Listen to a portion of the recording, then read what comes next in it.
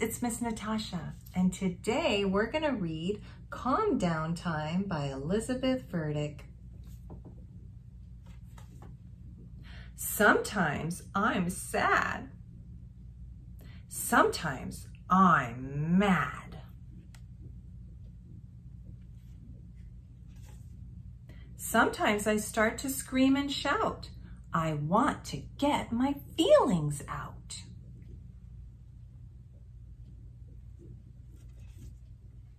It's calm down time. I see you're upset. I'm here to help, so take a deep breath.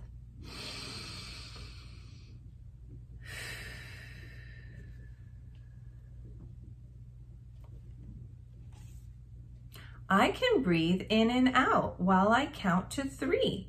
One, two, three. I'm taking care of me. One, two, three, I'm taking care of me.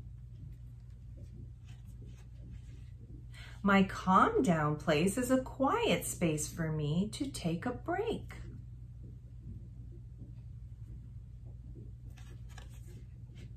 I can cry to feel better. I might say, hug me please, or hold me please.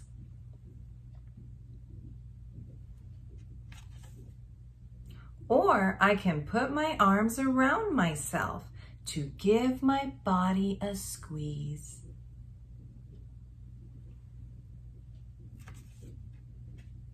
If I want to, I can rock back and forth or side to side and sing a quiet song.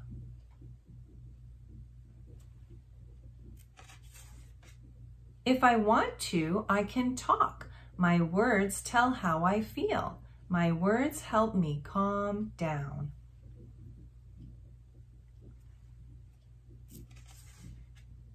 I breathe. One, two, three. I'm calm as can be. I'm taking care of me.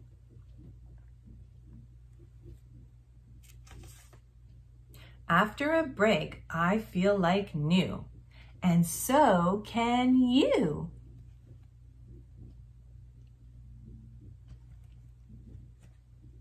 End. Well, friends, I hope you enjoyed our story today. We'll see you next time.